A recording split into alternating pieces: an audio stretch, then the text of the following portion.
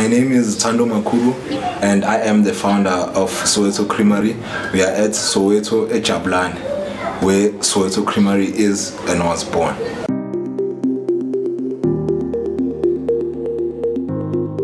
Soweto Creamery has been operating for almost two years now.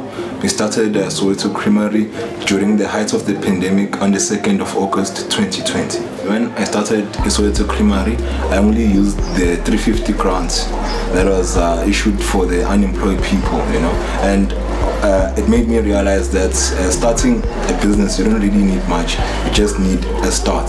So so it's a creamery i only used two 350s which is 700 rands you see? So it was almost like i was at a sample phase of Soweto Creamery.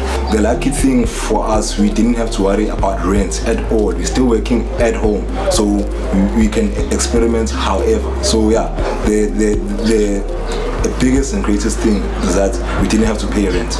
And then in terms of uh, uh, products, we purchased existing products already from retail stores you see? And then the other thing that really helped us grow is our pricing you see? Our ice cream starts from 80 rand you see? So it's really uh, premium price.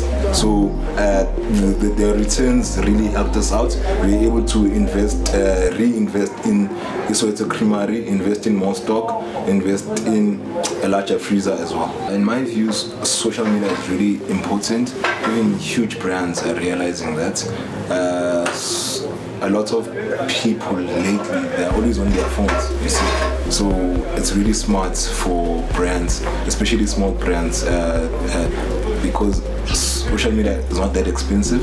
It's free to open an account and your job as a brand is to upload upload upload and uh, try and collaborate with influencers to, to help grow your brand so uh, running a business, I've learned that you need to plan for rainy uh, seasons as well, especially if you have employees that need to get paid. You, you know, so if you are you you you are doing great in summer and spring, ensure that you have reserves to try and save so your, your, your brand. So you mustn't. Uh, consume all of the, their profits. You must have re reserves, and then two, which is really important, invest back into uh, your, your brand or business.